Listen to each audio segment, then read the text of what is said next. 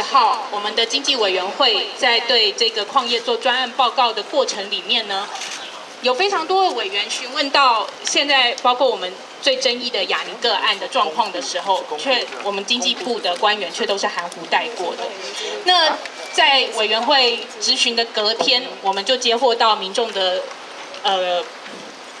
这要算陈情吗？还是告密？然后说，其实，在委员会呃委员会召开的前一个礼拜，也就是三月十四号的时候，雅尼二十年的展现就已经通过了。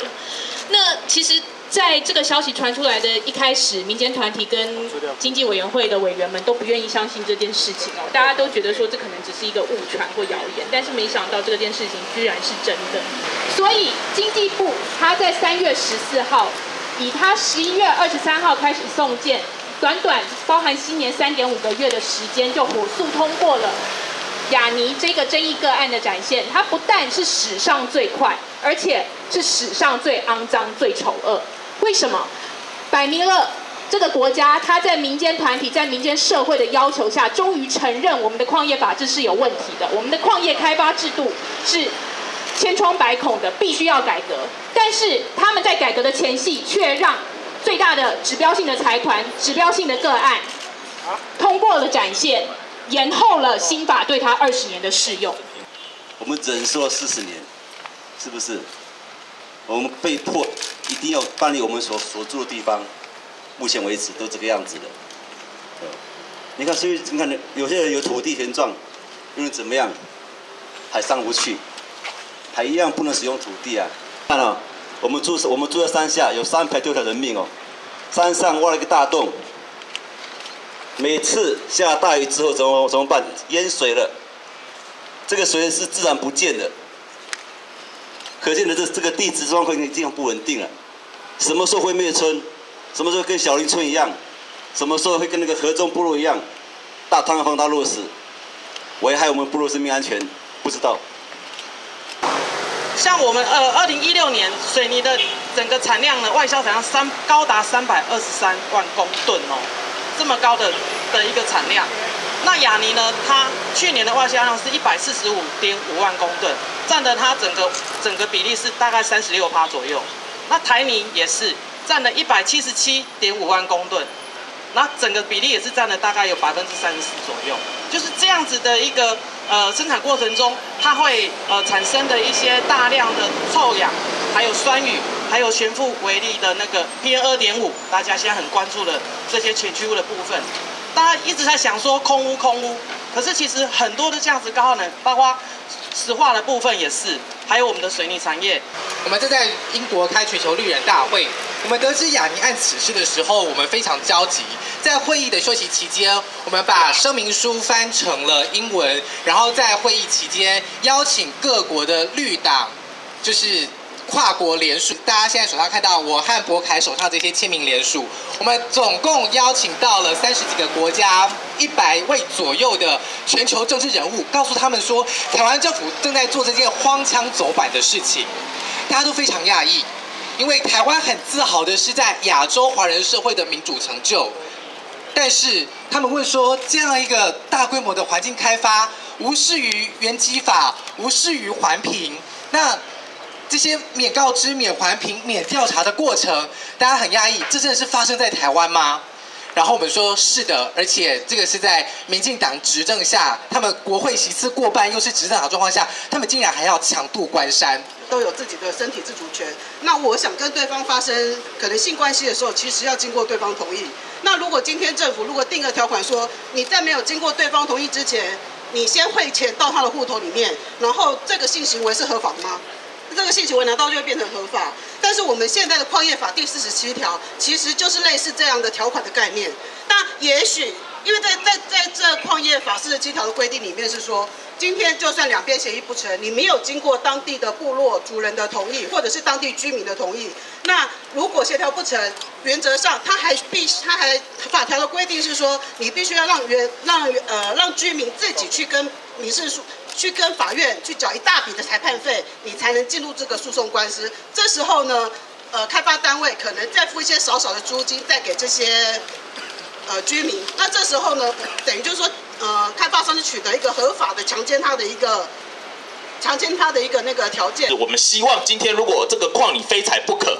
这个区位你非采不可的时候，你相关的法定程序你要践行，相关的法定程序你要践行。可是你看环评法八十三年通过到现在，一纸环保署的公文下来就说旧矿不必环评。好，原基法九十四年通过了，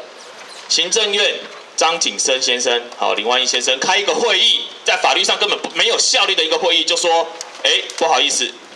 矿业权展现不需要经过原基法二十一条，不需要我们住在下面部落族人的同意。那一纸公文，法律定位在哪里？你告诉我，翻翻行政程序法，你告诉我这个定位是什么？它有没有法律效力？德国，我们不要讲德国、波兰那么先进的国家，人家对岸中国大中国中国人民共和国，他们讲什么？他们就说我们要建立一个什么原则？谁开采谁就要负责富裕，谁获利谁就要负责。那但是我们的中华民国的矿业法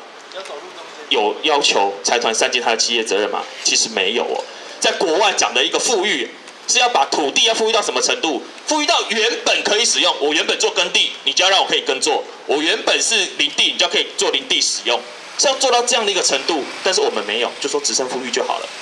好，就说这个水土保持做好就好。好，那我们其他国家讲的是什么？就是你要调整，不是只有自然、自然自然环境，还包括社会环境，你都要去做一个富裕，都要做一个改善。可是我们没有，那这部分难道不应该尽快修法吗？第一个，它一定要落实我们在地居民的程序参与，还有权利保障，然后要落实我们原基法二十一条的知情同意权。第二件事情，现在必须要修正这种你经济部一个机关独大，然后可以架空所有其他机关还有法制的状况，所以必须要把像诸如我们的矿业法三十一条，或者是说现在没有明定的在矿权展现的时候，我们的矿业用地核定也必须要重新进行的这些程序，都把它给完备。也就是说，要确保我们机关其他机关的法规、其他机关的权责能够被落实。第三个，我们现在完全完完全全矿业的资讯完全不透明，只有我们的立法委员的办公室去发文，然后参催四请，才能要得到我们所有矿业开发的这些资讯。我们最近矿业用地，我们已经这样争取了这么多年，最近矿业用地的资讯才在网络上公开，但是我们还是拿不到地号，然后拿不到图资。那所以未来我们要求的是说，所有的矿业开发必须要比较现在环评制度，它要建立一个独立的网站，然后所有矿业开发个案必须要上网资讯公开，而且要有透明参与的机制，让全民都能够来监督。那最后一点，我们希望就是诸就像刚刚我们谢律师所讲的，国家必须要建立完善的制度，来要求我们的这些企业能够善尽他们的整负责任，能够善尽他们的企业的责任。他们在这里，呃，使用在地居民的资源土地，让居民不得不在他们这样子的一个产业中生存。那他们也要善尽他们离开之后，这些居民未来的生计出路的一个呃，怎么讲，就是最起码的一个负责。社会各界提出修法的声音在研修当中，而且这个程序有按照进度，而且因为包括要跨部会。盐商，所以说我们盐商的进度都是按照程序来进行，好，包括刚刚各位所提的四个修法方向，我们也都在矿业法这次修法里头会纳入，好，我想我们也会尽速回应大家关心矿业法的一些这个进度啊，还有期程来进行，好，显是六月六月底要送到行政院，好，六月底要送到行政院。这个都是按照我们的这进度还有程序来进行的。